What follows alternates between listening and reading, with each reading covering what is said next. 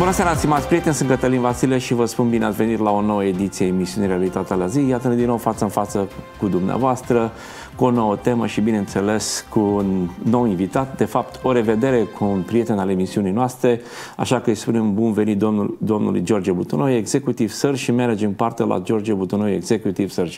Stimatele domnule Butunoi, bine ați revenit la noi în emisiune. Mulțumesc eu din nou.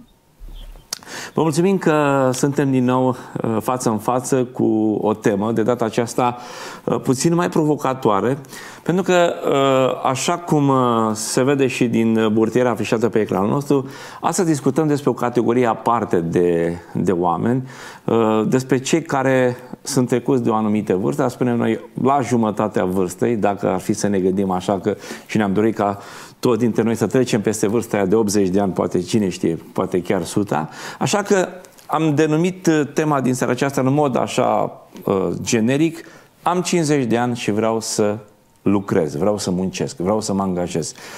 Uh, vreau să discutăm despre provocările și mai ales despre oportunitățile pe care această categorie de vârstă, la care uneori se găsesc chiar părinții noștri, uh, rudele noastre, ai noștri apropiați, și care au dificultăți în a-și găsi sau în a-și mai găsi locul în uh, oportunitățile pe care societatea de astăzi, așa cum e ea, plus criza pandemică în mod special, uh, le oferă. Și haideți să discutăm pornind de la câteva informații pe care le-am găsit pe internet, căutând și pregătindu-mă pentru discuția noastră. Citeam că angajatorii, cam 80% dintre angajatori, spun că nu sunt suficienți de mulți candidați pe piața muncii. Dumneavoastră cunoașteți foarte bine piața aceasta muncii, în mod special zona executiv, dar bineînțeles și zona non-executiv. Și mai spun uh, cei intervievați în acest studiu că uh, în special candidații peste 40 de ani, adică se chiar coboară puțin, au dificultăți în a mai fi, să spunem, uh, apreciați, uh, să spunem, și ajutați să-și găsească un loc de muncă, în special în momentul în care, uh, din diverse motive, părăsesc specialitatea lor de bază sau uh, obiectul muncii pe care l-aveau până în momentul de atunci și la un moment dat ar trebui să facă o schimbare în viață. Haideți să discutăm puțin despre situația actuală Luând în, în considerare, bineînțeles, și chiar uh, situația aceasta specială în care se află România și nu numai România, uh, a spune chiar lumea întreagă, pentru că lucrurile în pandemie chiar au luat o turnură puțin mai agresivă decât înainte. Uh, bun, to- toată lumea știe asta. Niciun angajator sau aproape niciun angajator, dacă sunt câțiva e, sunt uh, excepții, nu ar vrea angajați peste 50 de ani. Dar toți ar prefera angajați uh, tineri. Bun, și dacă toți, practic fără, fără excepție, uh, vor asta, preferă uh, asta, înseamnă că există o explicație pe undeva, da? Că nu, nu cred că bănuiește cineva că Uh, angajatorii și managerii nu știu ce e bine pentru ei și pentru businessul lor. Cu toate că sunt mulți care chiar cred că angajatorii sunt proști.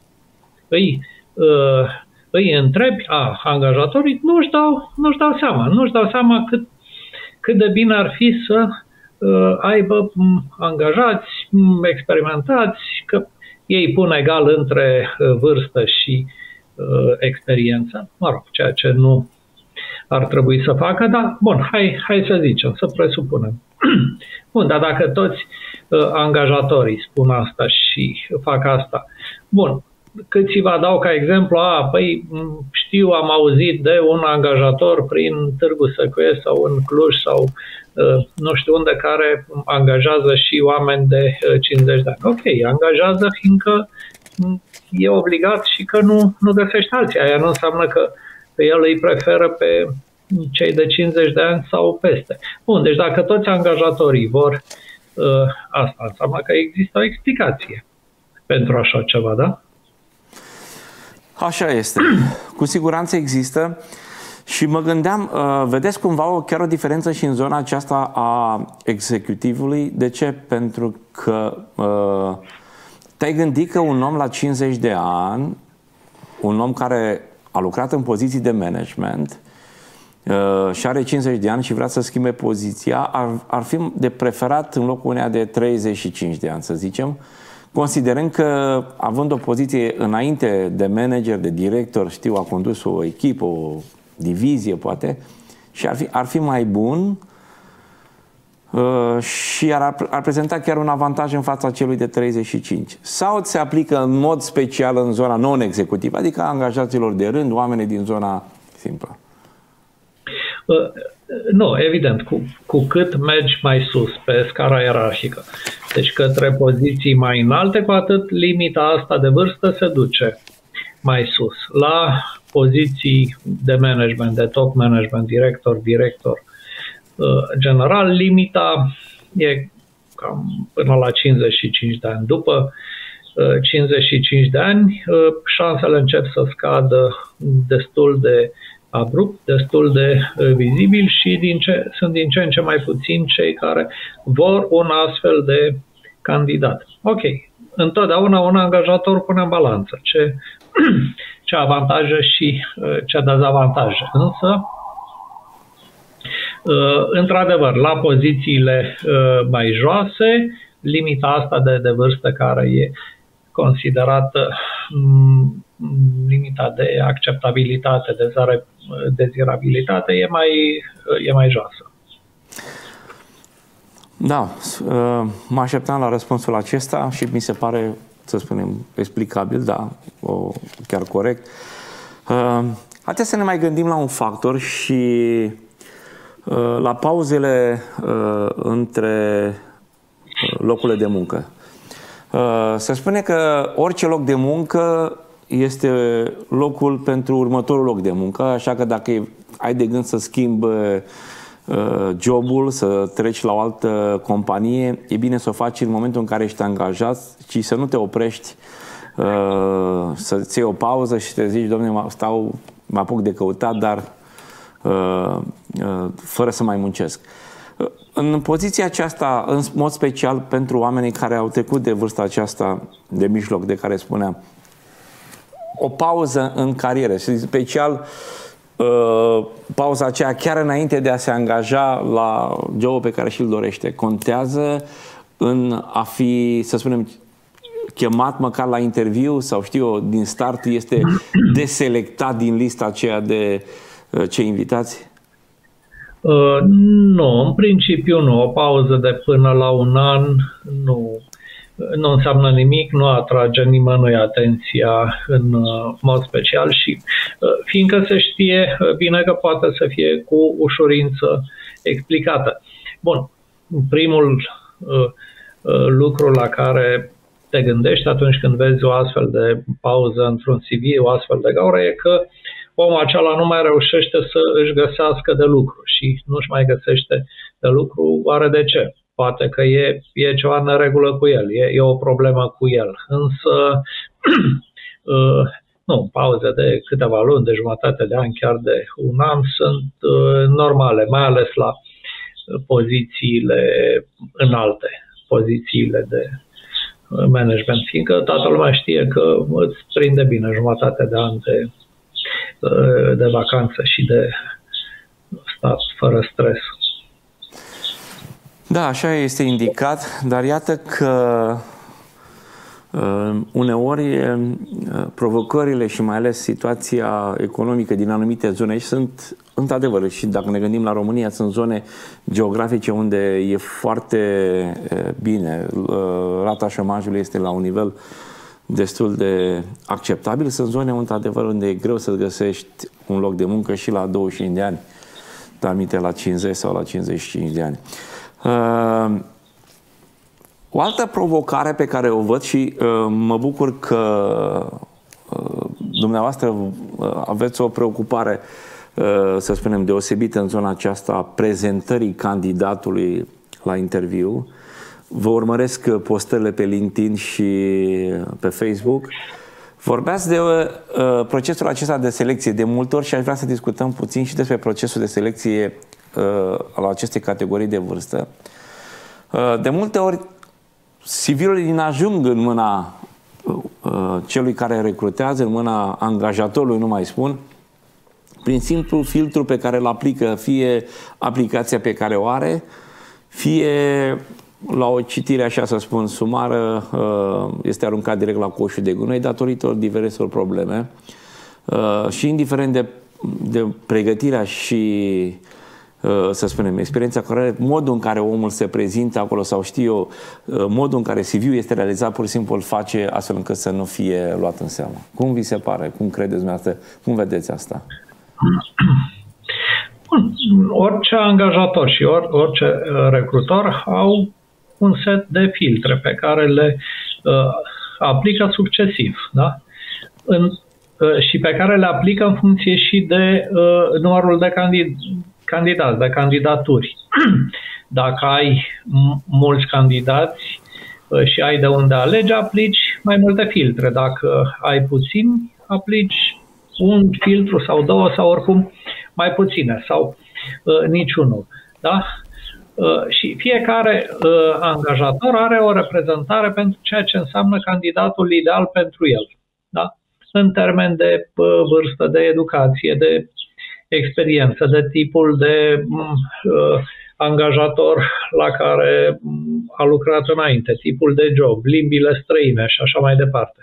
Da? Și așa se face o recrutare. E normal să fie să fie așa. Ei, Uh, și vârsta, ca să rămânem totuși în cadrul temei uh, de astăzi, vârsta întotdeauna e un uh, criteriu de selecție, a fost întotdeauna și va fi întotdeauna. Deci nu, nu există angajator pe lumea asta care să spună că nu îl interesează ce, ce vârstă au candidații.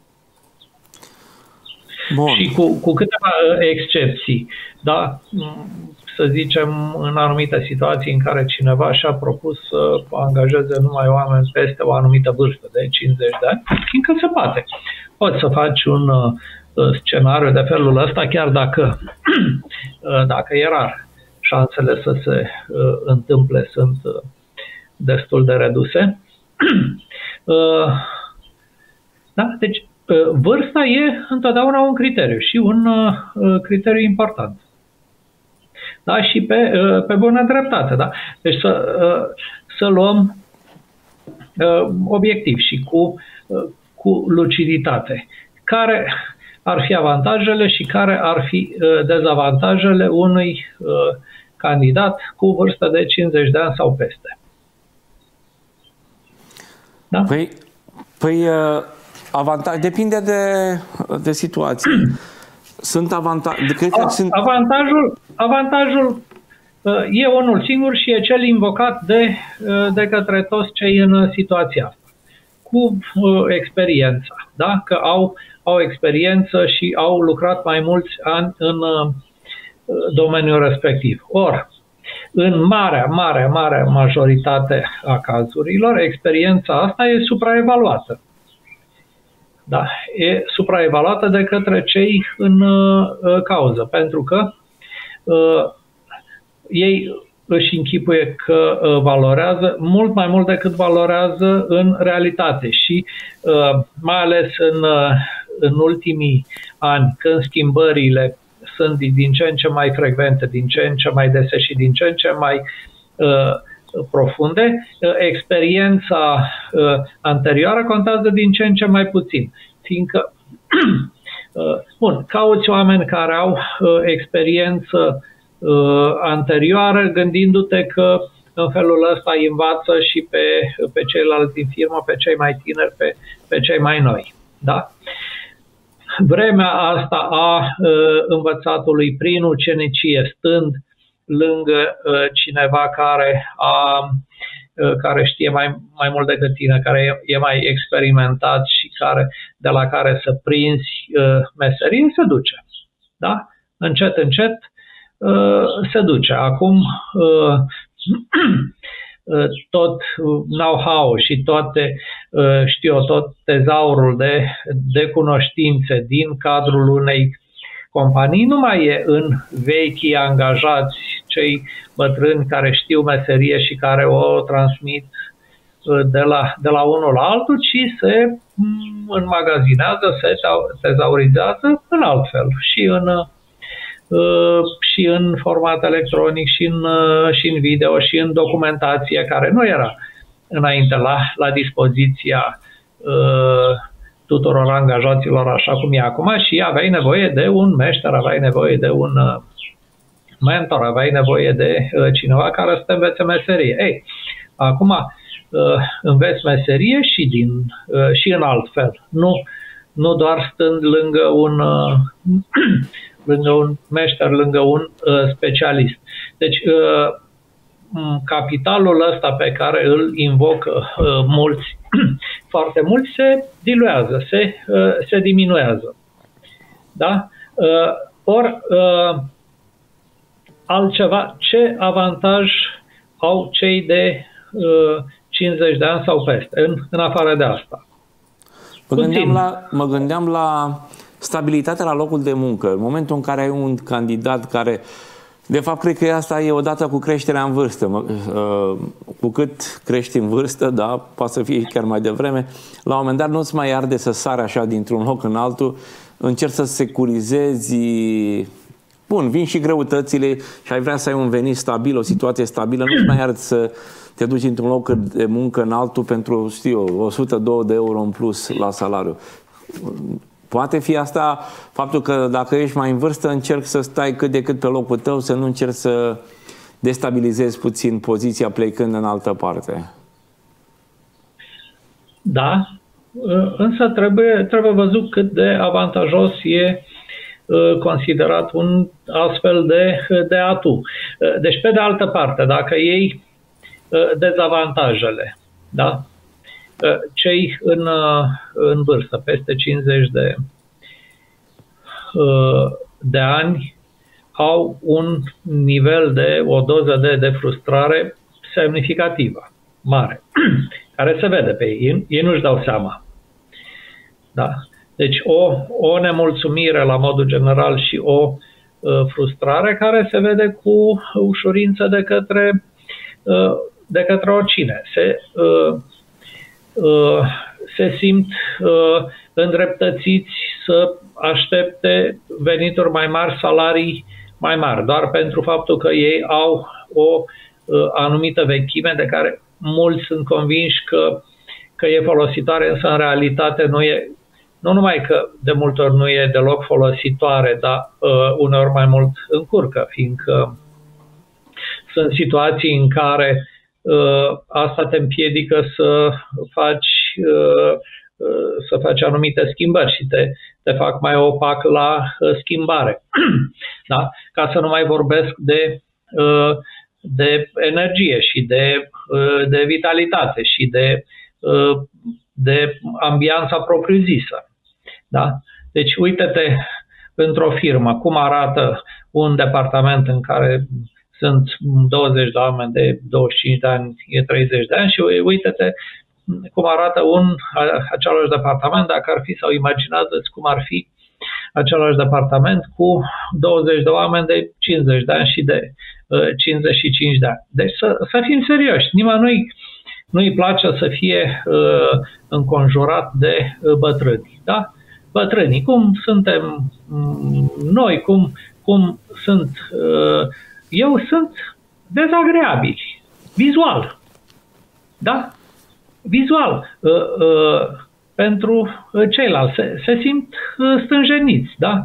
Uh, miros altfel, chiar dacă, dacă te speli. Da, te, te, te speli bine și pe din, și în urechi, și, și în nas. E, e un uh, miros specific, da? Uh, care vine, vine odată cu vârsta pe care tu nu-l simți, fiindcă tu, tu, tu nu-ți dai seama, da? nu mai ai vederea ageră, da? Nu îți mai vezi matrața de pe, uh, de pe haină, nu mai vezi că, uh, că nu stă, uh, nu stă bine una sau alta pe, pe tine.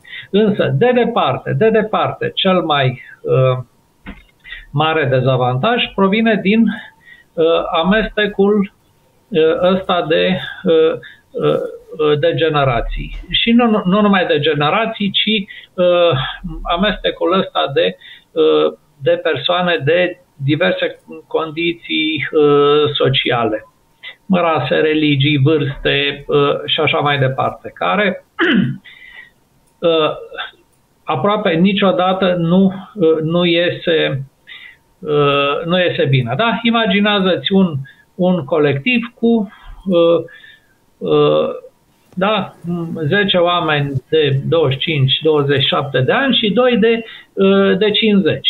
Nu vorbesc că sunt șefi, că dacă sunt șefi sunt uh, uh, cumva acceptați, da? Dar egali. Da?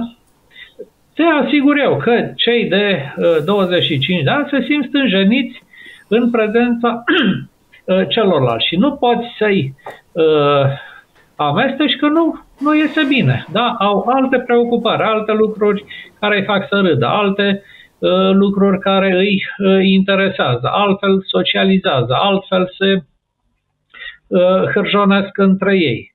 Deci nu poți uh, niciodată să uh, amesteci forțat uh, uh, oamenii din clase sociale, din condiții sociale, de vârste, uh, Uh, diferite, de uh, rase uh, diferite, fiindcă nu, nu este bine. Toată, toată lumea știe asta și angajatorii știu, știu asta foarte bine.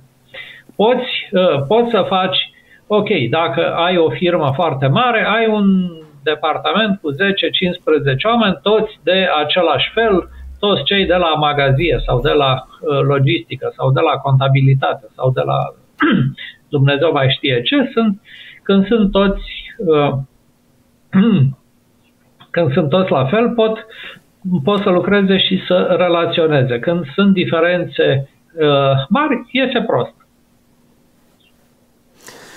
Așa este, să știți că, uh, uitându-mă puțin în, uh, în experiența mea, în timp ce vorbeam, mi-am adus aminte de câteva situații în care am recunoscut din tipologia despre care discutați dumneavoastră și, într-adevăr, uh, uh, se pot crea uh, disensiuni, ba chiar mici grupulețe apoi între, între angajați, între colegii de muncă și la un moment dat lucrul devine ineficient. Toată echipa are de suferit, neînțelegeri, fiecare critică pe ceilalți și, bineînțeles, toate criticile ajung la management care la un moment dat trebuie să ia o decizie și să reorganizeze puțin uh, resursa umană din departamentul respectiv. Uh, stimate domnule Butunoi, haideți să discutăm puțin și despre deschiderea aceasta la tehnologie. Uh, vorbeam despre categoria aceasta de vârstă, care e în top acum, să spunem, uh, uh, sunt în mod natural digitalizați, da? oamenii care știu să lucreze cu tehnologia, da?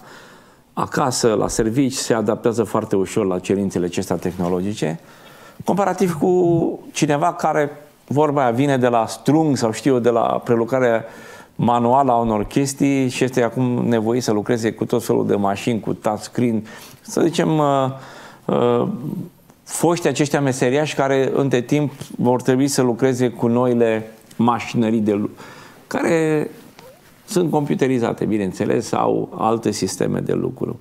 Uh, credeți că reticența aceasta constituie un dezavantaj? Bineînțeles, aptitudinile cu siguranță nu se compară, dar poate fi luată ca un dezavantaj? Evident că da. În primul rând că uh, asta ține și de cultura generală. Acum, uh, tot, tot ce ține de, de internet, de digital, de, de calculatoare, de um, device-uri de astea, de uh, tehnologie, a ieșit de mult din uh, zona profesionalului și uh, e în, uh, în zona vieții de zi cu zi și a culturii uh, generale. Dacă uh, e cineva care uh, evident respinge uh, asta, e, e un semnal extrem de mă rog, foarte, foarte clar și destul de uh, îngrijorător în ceea ce uh, privește personalitatea uh, celui în uh, cauză și e, ești cât se poate de îndreptățit să să te gândești că, ok, dacă, dacă faci asta cu uh, niște lucruri care țin oricum de, de viața lui de zi cu zi și care îi ușurează sau e de, de presupus că ar trebui să-i ușureze uh, viața. Pe atunci, uh, ce ar face el în niște situații mai uh, complicate sau cu uh, cu niște lucruri pe care trebuie să le învețe, să le uh, asimileze, chiar dacă nu îi sunt prea uh, agreabile sau prea plăcute. Că, oricum, acum, cu telefoane, cu tot, tot ce înseamnă digital, internet, e totuși destul de deplăcut. Nu e, nu e un chin pentru, uh, pentru nimeni. Ușurează munca, ușurează munca, în general. Nu... Și, și viața de, de zi cu zi, îți dă, ai, ai opțiuni, ai întotdeauna opțiunea să nu deschizi calculatorul dacă dacă nu vrei să nu deschizi uh, laptopul, da. Uh, deci, la modul general, cu cât uh, ai mai multe opțiuni din care să alegi, cu atât e mai bine pentru tine. Ei, dacă ai niște opțiuni și în mod ostentativ nu le folosești, nu vrei să le folosești, asta transmite un semnal. Trebuie să-ți asumi interpretarea semnalului respectiv. Bun, asta se leagă și de următoarea întrebare. Uh, apropo de Uh, să spunem, reconversia profesională la un moment dat, dacă mergem spre pe zona aceasta a digitalizării, la un moment dat să spunem, ai știu să lucrezi pe o mașină manuală, acum poți să treci pe o mașină automată, computerizată, să zicem că rămâi în același domeniu. Dar sunt cazuri în care, știu eu, ai fost uh, disponibilizat, firma la care ai lucrat uh, a trebuit să dea oamenii afară, ești la vârsta aceasta, la 50 de ani și practic nu, nu prea ai unde merge. Zona în care ești nu-ți mai oferă o altă alternativă. În schimb, sunt alte zone în care ai putea lucra.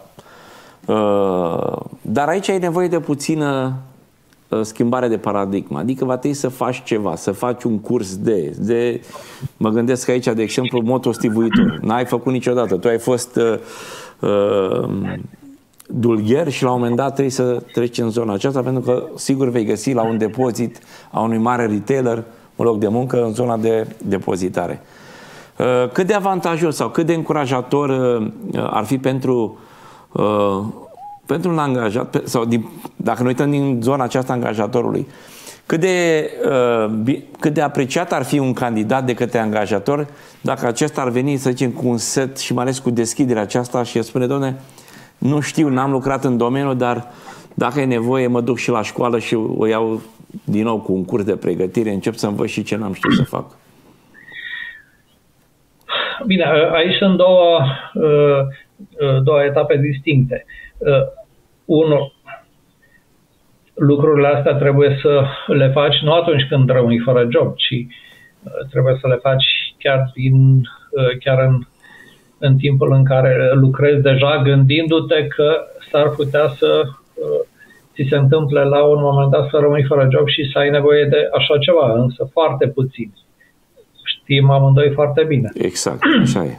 Da? Că foarte puțini fac. Dacă, uh, dacă faci vii și spui angajatorului, angajatorule, uh, eu sunt foarte deschis la nou, dacă trebuie să învăț ceva învăț imediat, oricine poate să spună asta. Nu să, să crezi pe cineva pe cuvânt cu atât mai mult cu cât nu ai nicio dovadă, te uiți în, în, în CV-ul lui și nu, nu vezi uh, ceva care să susțină asta și te gândești, ok, i-a, i-a venit uh, lui brusc uh, dorul de învățare pe la 50 de ani când uh, atât, atâția zeci de ani a avut uh, ocazia să o facă și n-a făcut-o, fiindcă dacă ar fi făcut-o, mă rog, s-ar fi văzut în, în CV. Nu-l mai crezi. Așa este, pentru că e greu, e greu. Dacă n-ai reușit până în momentul de față să faci ceva, să, să-ți, să spun așa, să spui deoparte o centură de siguranță, o variantă de rezervă, în să poți na, uh, alerga în zona aceea, cam greu să te apuci acum să recrești ceva de la nevoie. Pentru că nevoia de bani, bineînțeles, există. Facturile vin și oamenii la disperare promit orice că pot face, dar realitatea după aia uh, se va vedea pe banii angajatorului, bineînțeles. Uh, Doamne Butonoie, nu putem să nu discutăm și despre legislație. Există o legislație, legislația muncii, care prevede și, să spunem, pericolul acesta al discriminării. Companiile, la un moment dat, inclusiv corporațiile, și asta nu vorbesc doar în România, cam peste tot, în țările acestea civilizate, Uh, despre diversitatea în muncă. Și aici se referă și la nivel de sex, uh, se referă la vârstă, culoare, dacă vorbim și despre culoare, da? Și alte abilități, persoane cu handicap chiar, adică persoane care pot munci și uh, uh, uh, dovedesc că pot face lucrul acesta. Uh, am văzut cu ochii mei uh, uh programatori care lucra cu o singură mână și era unul dintre cei mai buni programatori din echipa respectivă. Și a fost un accident, a fost angajat cu o singură mână. Deci nu a fost în timpul lucrului, așa a fost angajat. Uh, mă gândesc acum și la vârstă. Poate fi considerat până la urmă vârsta aceasta și un handicap, un, o chestie care, la un moment dat, un angajator ar putea o face doar pentru că este obligat de, de, de legislație sau, într-adevăr, uh, reprezintă până la urmă și un act de binefacere. Știți, mă, le-au și pe omul ăsta că, da, Poate, cine știe. Fiecare uh, companie, fiecare angajator își face, uh, își face niște calcule. Da? Uh, în, uh, bun, unii uh, pot și nu pot, chiar, uh, chiar o și fac, pot să, uh, să exploateze uh, mediatic uh, așa ceva, spunând că, uite, uh, da, am, am angajat uh, oameni de o anumită vârstă. Ok, de, de, de regulă îi uh, angajează pe uh, joburi din astea uh, mărunte și e, e foarte bine că fac, fac așa. Dau, dau și un exemplu în companie, dau un exemplu în, uh, în comunitate, însă întotdeauna miza e uh, miza jobului respectiv e redusă. Da? Deci nu, nu fac uh, astea să zic, mă rog, experimente de, de felul ăsta cu, uh, cu joburi foarte importante. Când uh, uh, Asta sunt joburi administrative, uh, periferice și uh, mai ales acolo unde uh, riscurile sunt, uh, uh, sunt reduse. Însă beneficiul de uh, imagine poate să fie consistent. Da? ei apar la uh, televizor cu asta și foarte, foarte bine, pe, pe bună uh, dreptate. Unii chiar se simt obligați să, uh, să facă asta. Da, vreau să vă dau un exemplu clasic acum la unul dintre, să spunem, motivele pe care un angajat sau presupus angajat ar putea o spune atunci când își caută de lucru. Uh, am trăit o asemenea experiență, nu dau nume pentru că uh, uh, se știe, da. O, trăit o experiență în care am încercat să ajut pe cineva și din start mi-a spus că nu vrea să accepte opțiunea pe care i-am oferit-o datorită faptului că locul acolo, locul pe care trebuia să-l să-l viziteze în calitate de candidat, să stea de vorbă, era clar uh, o echipă de tineri, management team, uh, management, managerul de echipă era tânăr și a zis, doamne, n-aș vrea să fiu luat la puricat și să primesc ordine de la cineva de 20 și ceva de ani. Da, cam asta era situația. Am fost puțin dezamăgit. Am fost dezamăgit pentru că nu mă așteptam la De ce? Cine, cine ar vrea să fie pus în, în astfel de, uh, de postură? Nimeni n-ar vrea să fie pus în astfel de postură. Deci nu, nu ar vrea nici uh, angajatul să fie, uh, uh, mă rog, să aibă un șef de cu jumătate din, uh, din vârsta lui, că te, nu, nu te simți bine. Instinctiv ai, ai o frustrare, un, un anumit disconfort și nici uh, uh, cel care ar putea să fie șef nu vrea să aibă uh, subalterni uh, pe cineva de, de două ori mai în vârstă decât el. Nu. Uh, sunt uh, niște tensiuni, niște tensiuni care apar și niciunul, nici o parte, nici cealaltă nu, nu vrea. Și un angajator uh, bun știe știe asta și previne încă de la început astfel de situații, nu constată post-mortem că, uite, nu, nu a mers. Da, sunt și asemenea experiențe. Uh, stimatele domnule Butunoiu, uh, ne apropiem de încheiere și aș vrea să încheiem cu câteva concluzii, să hai să spunem, idei, dacă le putem uh, numi așa. Până la urmă, sunt oameni care sunt la 50 de ani sau peste și își caută și a zice că e un mod uh, corect de a privi viața, să muncești și să-ți asiguri să nu te arunci imediat la ajutorul de șomaj. Asta nu înseamnă că, de asemenea, să fii povara cuiva, nu e nimeni obligat, da? Dacă poți să muncești, e bine să muncești, să faci lucrul acesta.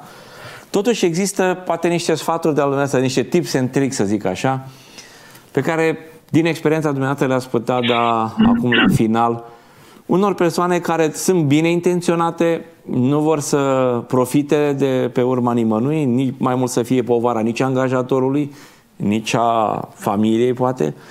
Are poate ceva credite, poate are ceva familie uh, mai numeroasă și are nevoie de acești bani. Pensia mai durează, da? Mai sunt câțiva, uh, ceva ani până la pensie și totuși vrea. Există câteva, să spunem, uh, sfaturi, indicații pe care cineva le-ar putea primi din partea dumneavoastră? Bun, înainte de uh, orice altceva e uh, un îndemn la luciditate. Da? Deci să nu fi luat prin surprindere, fiindcă sunt incredibil de mulți cei care uh, pur și simplu nu vor să accepte uh, situația asta. Da? Deci când ajungi la uh, o anumită uh, vârstă, trebuie să uh, știi că toate se duc, uh, se duc în jos. Da? toate, și, uh, și jobul, și uh, relații sentimentale, și erecția, și uh, orice. Da? Dacă te ia prin uh, surprindere uh, și uh, ești uh, șocat de, de uh, ceea ce se întâmplă, tu ai o problemă, nu lumea din, uh, din jur. și uh, bătrânețea asta care, ok, începe de la uh, 50 de ani, cu toate că mulți nu, nu consideră asta, dar ar trebui să, să accepte lucrul ăsta, că începând de la, de la 50 de ani, uh, da, și ceilalți încep să te considere bătrân, chiar dacă tu nu, uh, nu te simți, trebuie pregătită uh, dinainte. Pe de o parte, dacă vrei știu eu, să mm, o lungești cât mai mult profesional, să, mm, să te pregătești, să, să înveți mm, câteva lucruri, știu Uh, chiar limbi străine sau tot, tot felul de uh, alte lucruri care ar putea să-ți uh, ajute și care ar putea să prelungească uh, perioada asta cât, uh, cât se poate, dar se poate prelungi și uh, la vârsta asta și câțiva ani, 2, 3, 4, uh, 5 ani de prelungire sunt importanti și pentru psihicul tău și pentru uh, nervii tăi și pentru, chiar și pentru uh, familie. Trebuie să fie uh, pregătiți să uh, accepte că uh, or să primească joburi din, din ce în ce mai uh, uh, mici și mai uh, mărunte și mai uh, prost plătite și e, e normal să fie uh, uh, astfel și oricum, de departe, soluția cea mai uh, bună însă pentru cine poate și cine își poate permite așa ceva, soluția cea mai uh, bună de uh, ieșire uh, e cea prin antreprenoriat.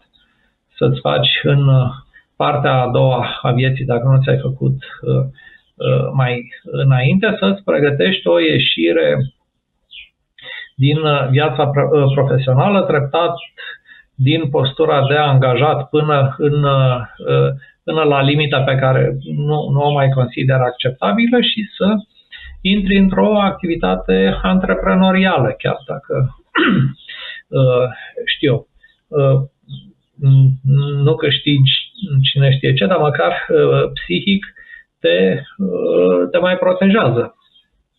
Da? Însă antreprenoriatul, evident că nu, nu e chiar pentru uh, oricine. Și dacă aș fi uh, uh, la putere politician, uh, guvernant, uh, m-aș ocupa de categoria asta de angajați, mă rog, de, de oameni de de cetățeni mult mai uh, activ, nu obligându-i pe angajatori să-i uh, angajeze, fiindcă nu o să meargă, niciodată nu o să meargă. Asta și nu o să rezolve problema, chiar dacă, uh, știu eu, ar obliga, am văzut că s-au vehiculat uh, idei, legi în sensul ăsta, să obligi fiecare companie să aibă să angajeze cel puțin, nu știu, 3%, 5% nu contează că persoane peste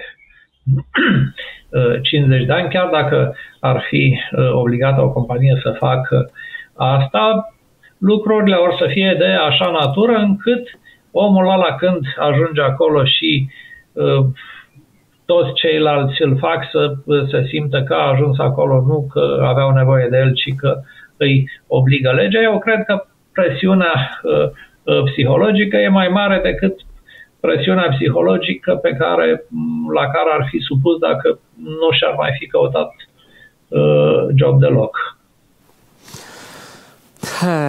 Asta este situația. Vă mulțumim foarte mult. Uh, mă bucur că am putut trata tema aceasta. Este într-adevăr o provocare, să știți. Am văzut-o de atâtea ori și în mediul apropiat, ca să zic. Și oameni care au muncit ani de zile sau aflat deodată așa într-o stare în care nu și-a mai găsit uh, forța de a merge mai înainte. Unii au rămas în starea aceasta, unii s-au reprofilat și au reușit să ajungă la vârsta de pensionare. Uh, dar, uh, într-adevăr, e o provocare. E o provocare și vă mulțumesc foarte mult pentru discuția cu dumneavoastră. E, să spunem, prima emisiune pe care o facem anul acesta pe tema aceasta a resurselor umane, a angajării, a locului de muncă, a, a, a dorinței omului de a-și câștiga pâinea până la urmă urmelor. Și vă mulțumesc foarte mult pentru prezența dumneavoastră în seara aceasta. Și eu mulțumesc. Uh, stimați prieteni, uh, vă mulțumim foarte mult pentru prezența dumneavoastră în fața micilor ecrane. Până data viitoare, noi vă spunem la revedere!